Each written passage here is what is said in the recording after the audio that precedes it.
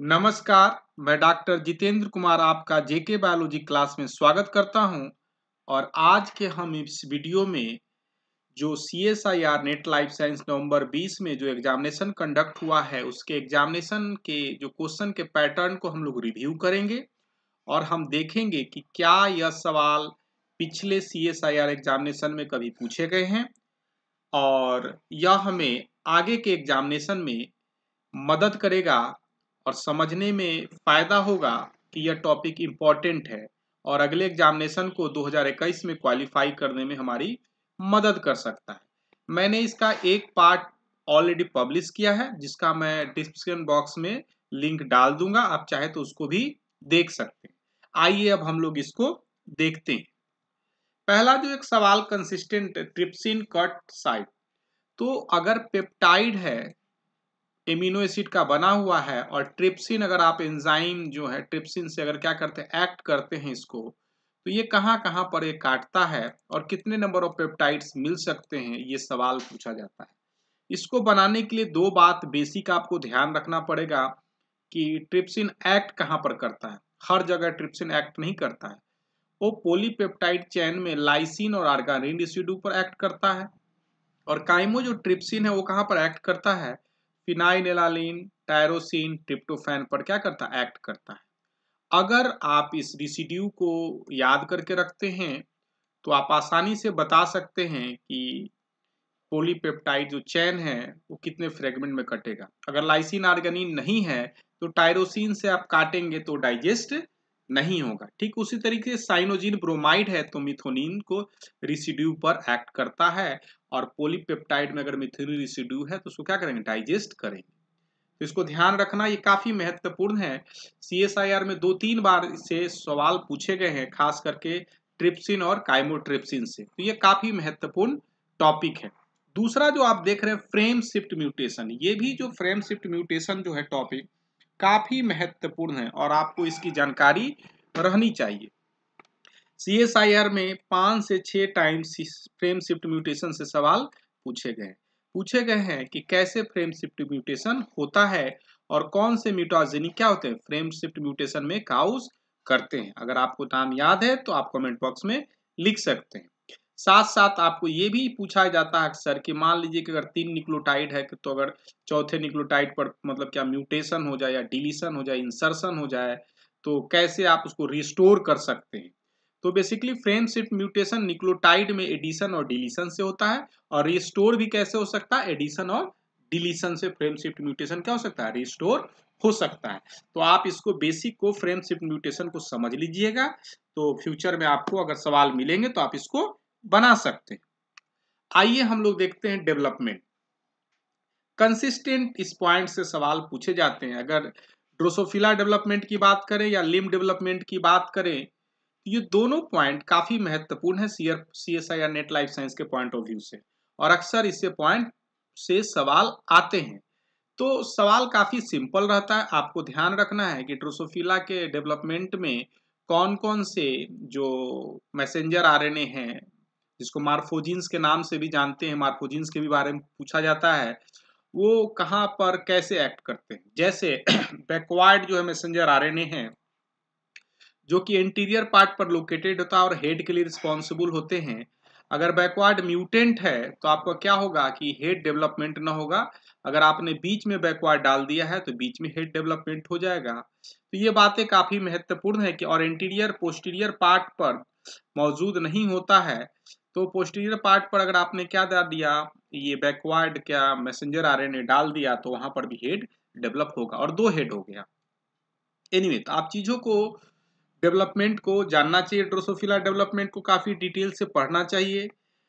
लिम development ये भी काफ़ी महत्वपूर्ण है और जो लिम का डेवलपमेंट होता है फोरलिम और हिंडलिम का डेवलपमेंट होता है डिफरेंट टाइम पॉइंट्स में होता है और यह लिम डेवलपमेंट कैसे होता है? कंटिन्यूअस इंट्रैक्शन बिटवीन मिजोडर्मल और इक्टोडर्मल कंपोनेंट ठीक है?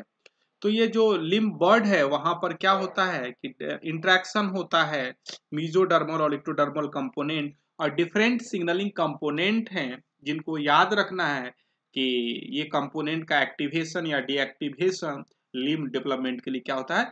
रिस्पॉन्सिबल होता है। तो आप नहीं जानते हैं तो देखिए और अगर आपको जानता है तो आप लिख सकते हैं कि लिम्ब डेवलपमेंट के लिए एक जो कंपोनेंट है एक्टिवेशन होना चाहिए या डीएक्टिवेशन होना चाहिए इस पाथवे के थ्रू लिम्ब डेवलपमेंट होता है। अब देखते हैं एसआईआरएनए और मैसेंजर आरएनए कोई ऐसा साल नहीं है जो इसमें सी से सवाल पूछे नहीं जाते और किसी भी कॉम्पिटिटिव एग्जामिनेशन में पूछे जाते हैं S I R N A micro R N A से सवाल पूछे जाते हैं। तो यहाँ पर क्या सवाल पूछे जाते हैं? सॉरी एक तो मैसेंजर आर एन कहाँ से सिंथेसिस करता है? कौन से एंजाइम इसको सिंथेसाइज करते हैं? सॉरी साथ में ये भी पूछा जाता है कि आपका एस आई और मैसेंजर आर एन ए का फ़ंक्शन क्या है और कैसे एक दूसरे से क्या है? डिफरेंट है। साथ साथ ये भी पूछा जाता है कि एक्स्ट्रा सेलुलर मैट्रिक्स प्रोटीन काफ़ी महत्वपूर्ण है। आपके सेल के मेम्ब्रेन के प्रोटीन में एक्स्ट्रा सेलुलर मैट्रिक्स प्रोटीन है, ये कौन कौन से प्रोटीन होते हैं और आपस में इंट्रैक्शन करते हैं सेल सेल इंट्रैक्शन में भी रोल प्ले करते हैं तो ये नाम आपको ध्यान रखना है और इसे सवाल अक्सर पूछे जाते हैं। तो अगर आप चाहें तो माइक्रो आर एन और S I R N A के लिए इस वीडियो को देख सकते हैं, काफ़ी अच्छे तरीके से डिस्क्रिप्शन किया गया है और वहाँ से सवाल आपसे पूछे जा सकते हैं। डिफरेंट बुक में काफ़ी तरह का कंफ्यूजन है, कम मतलब R N S I R N S H R N A के बारे में तो आप इसको देख सकते हैं, इससे क्या होगा? आपकी अंडरस्टैंडिंग अच्छी होगी। अब देखिए, ये भी जो सवाल है, इस बार पूछा गया था प्रोटीन सॉर्टिंग सिग्नल सीक्वेंस तो ये आपको सिग्नल सीक्वेंस इस तरीके का है, जो आपको ध्यान रखना है सिग्नल सीक्वेंस के बारे में। यहाँ से सवाल पूछे जाते हैं कि सिग्नल सीक्वेंस प्रोटीन सॉर्टिंग कैसे होता है और इस बार थोड़ा डिफरेंट था कि एमिनो एसिड के बारे में नहीं पूछा गया था कि कौन मतलब पूछा गया था सिंपल कि मैनो सिक्स फास्फेट रिसेप्टर के बारे में, लेकिन थोड़ा घुमा के पूछा गया था कि उसमें से कौन से ऑर्गेनल्स है जहाँ पर कि सिग्नल सिक्वेंस के फॉर्म में मॉडिफिकेशन नहीं होता प्रोटीन का। तो यहाँ पर वास्तव में कार्बोहाइड्रेट का मॉडिफिकेशन था और मैनोज और मैनोज सिक्स फास्फेट के जो रिसेप्टर्स है लाइसोजोम्स पर पाए जाते हैं। ये बात को ध्यान रखना है मैनोज सिक्स फास्फेट। यह काफ़ी महत्वपूर्ण है। तीन चार बार सी में पहले भी पूछा गया है मैनो सिक्स फास्फेट के बारे में डिफरेंट तरीके से और फिर वही सवाल फिर पूछा गया। एनीवे anyway, आगे देखते हैं। आर एन काफ़ी महत्वपूर्ण टॉपिक है आर एन डिफरेंट जो मैसेंजर आरएनए बनते हैं, स्प्लाइसिंग के दौरान बनते हैं, और स्प्लाइसिंग में आपका क्या होता है, इंट्रॉन का रिमूवल हो जाता है, और फिर मैसेंजर आरएनए आपस में जुट जाते हैं। तो आपको दो तरह के यहाँ से सवाल कंसिस्टेंट पूछे जाते हैं। पहला जो है स्प्लाइसोजोम्स स्प्लाइसोजोम्स जिसमें डिफरेंट तरह के एस आर एन इन्वॉल्व होते हैं, और ये काफ़ी महत्वपूर्ण है।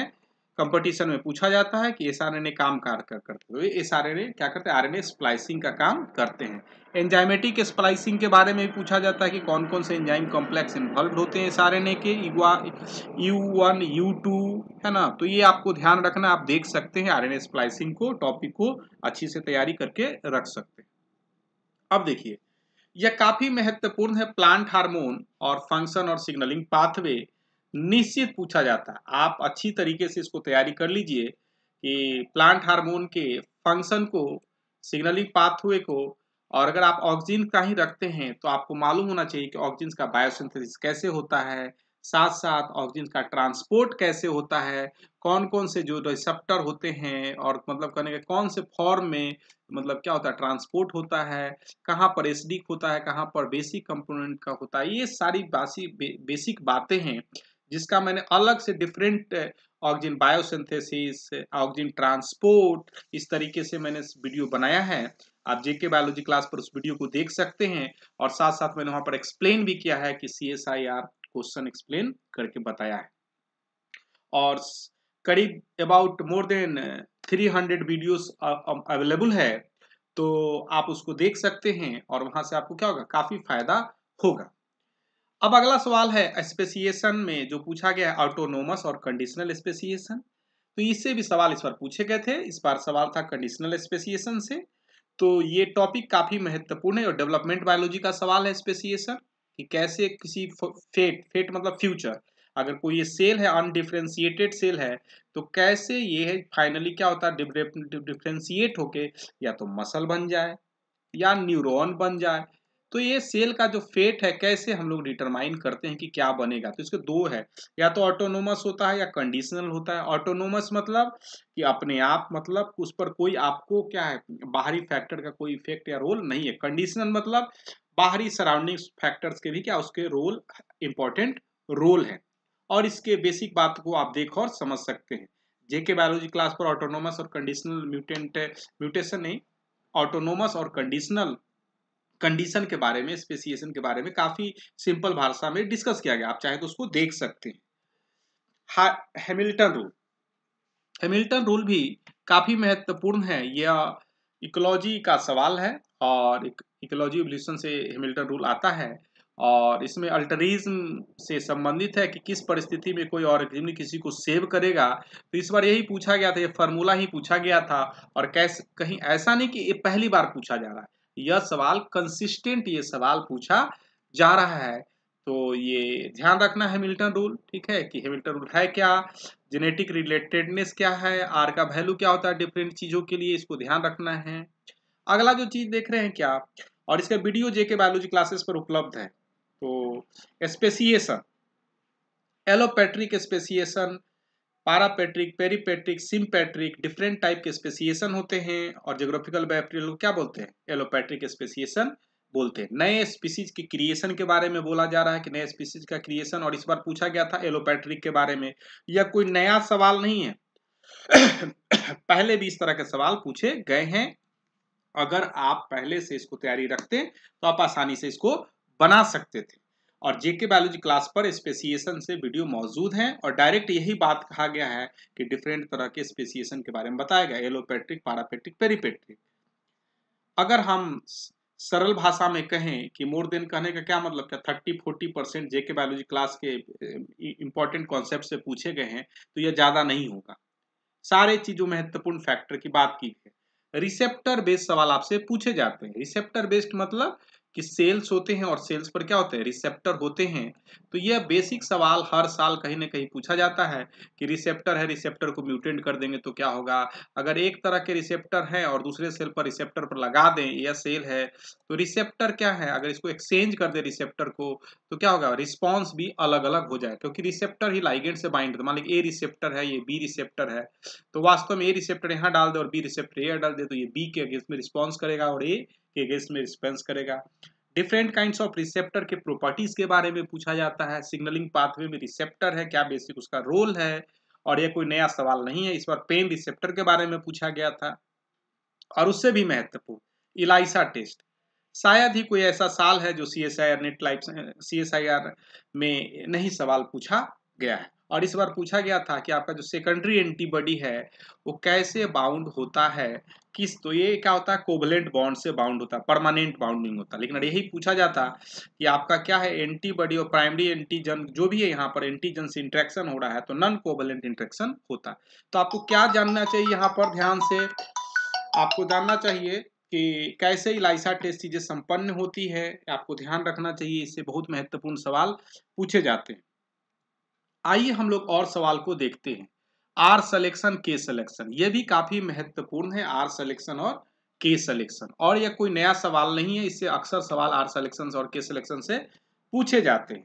आर सिलेक्शन और के सिलेक्शन और टाइप ऑफ़ सर्वाइवल शिप कर कैसे रिलेटेड है, इससे सवाल पूछे जाते हैं। आपको इसकी जानकारी होनी चाहिए। अगर आप ऐसा करते हैं तो इसको सवाल को आसानी से बना सकते थे। इसके लिए मैंने अलग से आर सिलेक्शन और के सिलेक्शन का वीडियो जेके बायोलॉजी पर उपलब्ध है। आप उसको देख सकते हैं आर सिलेक्शन और के सिलेक्शन बिल्कुल आपकी ही भाषा में, सरल भाषा में। अब देखते हैं फ़ोटो इंस्पिरेशन यह भी कोई जो टॉपिक है, कोई नया टॉपिक नहीं है और इसे अक्सर सी एस में सवाल पूछे जाते हैं। करीब करीब हम कहें कि दो दो एग्जामिनेशन में एक बार निश्चित पूछे जाते हैं तो ज़्यादा नहीं होगा। हर बार फ़ोटो डिस्पिरेशन से सवाल पूछे जाते हैं। और इसके संबंध या तो कभी कभी सी थ्री प्लांट में होता है या सी फोर प्लांट में होता है इस तरीके से सवाल पूछे जाते हैं। और फ़ोटो का जो पाथवे है उसके बारे में पूछा जाता है कि कौन कौन से ऑर्गेन इन्वर्ट है कैसे कैसे कंपोनेंट है ग्लाइसरोल है सीरीन है। इस बार पूछा गया था कि सीरीन कहाँ बनता है तो आपका माइटोकोन्डिया आंसर था। एनीवे anyway, यह कोई नया पॉइंट नहीं था। अब देखते हैं। मैं एक चीज़ और बात बता देना चाहता हूँ कि C S I NET life science के क्लब की तरफ़ से तीन वॉल्यूम में डिफरेंट का क्वेश्चन का जो डिफरेंट साल में पूछे गए हैं, उसको अलग अलग सेपरेट किया गया है। आप चाहें तो इसको हार्ड कॉपी के लिए इस नंबर पर कांटेक्ट कर सकते हैं। यह अपडेटेड बुक है, जो लास्ट एग्जामिनेशन तक ऑलरेडी इसमें पब्लिश्ड है। साथ ही साथ आप सेक्शन एक की तैयारी करना चाहते हैं तो यह यहाँ पर प्रीवियस ईयर का सोल्ड पेपर साथ में प्रैक्टिस सेट यहाँ किंडल एडिशन में अमेजन पर उपलब्ध है। आप चाहें तो पेपर वन के लिए आप इसको परचेज कर सकते हैं। अब देखिए, cell cycle and regulation based. यह सेल साइकिल से हर साल सवाल आता है। यह अलग बात है, कुछ और सवाल आ जाए लेकिन सेल साइकिल से सवाल हर साल रहता है। तो ये आपको सेल साइकिल बढ़िया से जानना चाहिए कि सेल साइकिल में कौन कौन से फैक्टर होते हैं कौन से उनको से फास्फोराइलेशन होते हैं, डिफास्फोराइलेशन होते हैं, और कैसे एक दूसरे को स्टेज में, ट्रांजिशन में मदद करते हैं। सी डी के के बारे में आइडिया होना चाहिए बी साइक्लिन के बारे में एम साइक्लिन के बारे में ई e साइक्लिन के बारे में, कैसे साइक्लिंग फास्फोराइलेट डिफास्फोराइलेट होते हैं, सब इसी आपको बेसिक आइडिया होनी चाहिए। हम लोग इसको क्लास में अक्सर बताते हैं कि सेल साइकिल काफ़ी महत्वपूर्ण चीज़ है, इसको आप याद रखिए पोलीप्लाइडी एनोप्लाइडी बेस्ड सवाल। यह भी टॉपिक काफ़ी महत्वपूर्ण है पोलीप्लाइडी एनोप्लाइडी तो यहाँ पर इस बार सवाल पूछा गया था कि कुछ क्रोमोजोम्स नंबर दिए हुए थे और इस तरह का मोनोसोमिक या नलोसोमिक निकालना था शायद। तो ये आपको जानना चाहिए कि मोलोसोमी टाइसोमी टेट्रासोमी कहते किसको है? तो ये कंडीशन को भी याद रखना है और इसे आप सवाल अगर आपको याद रखते तो आसानी से बना सकते हैं। सोमैटिक हाइब्रिडाइजेशन बेस्ड तो जो एक सवाल हर साल रहता है, कोई ऐसा साल नहीं है कि ये सवाल नहीं रहता। वास्तव में क्या रहता है? मैपिंग से सवाल रहता है। क्या रहता है? मैपिंग से।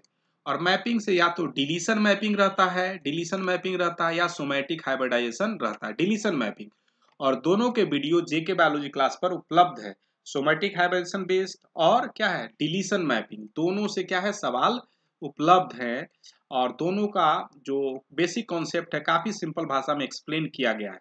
तो हम सारे परिस्थितियों में अगर हम देखें तो हम कह सकते हैं कि ये जो सवाल का जो बेसिक पैटर्न है चेंज नहीं हुआ है, आज भी वही सवाल पूछे जाते हैं। मैपिंग से एक सवाल रहता है तो मैपिंग से या तो डिलीशन से रहे या सोमेटिक हाइब्रेशन रहे या कोई और तरीका से जीन को मैपिंग के बारे में पूछा जाता है तो यह हर सवाल ये, हर साल ये सवाल आता है। तो आप भी इस चीज़ को बिल्कुल अच्छी तरीके से सीख लीजिए।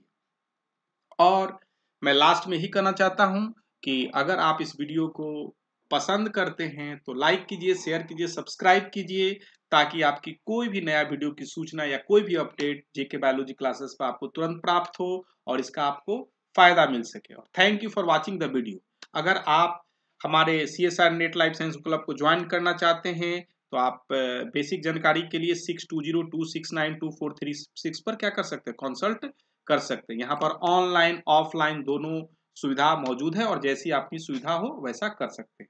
Thanks for once more for watching.